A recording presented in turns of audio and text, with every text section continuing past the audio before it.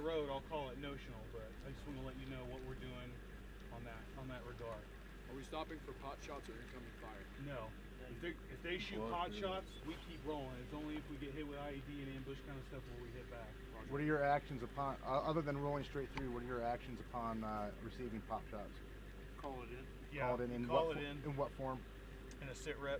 Sit rep or Salute report. salute report would be better. Would be better suited for this. Salute report. Yeah. Yeah. That being said, Gunner, we're expecting and slow on this. Be sure to buckle your seatbelts, eye pro, ear pro, all that stuff. I don't want anybody to get hurt on this mission.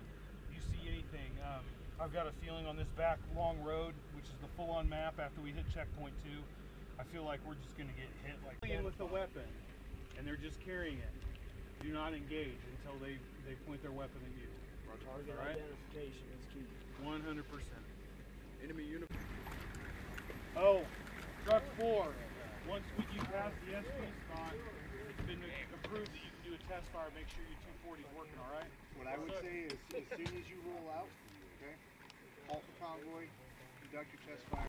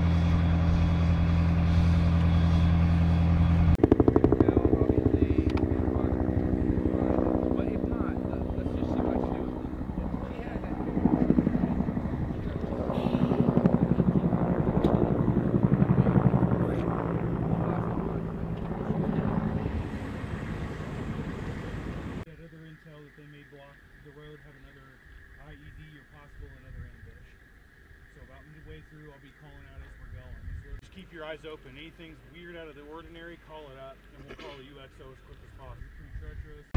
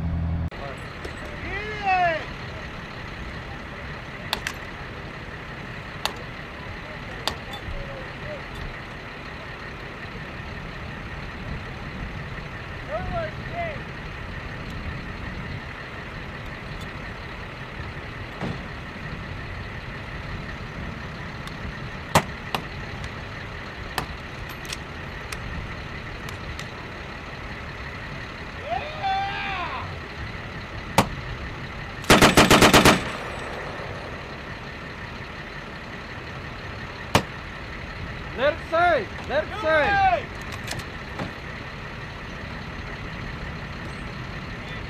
It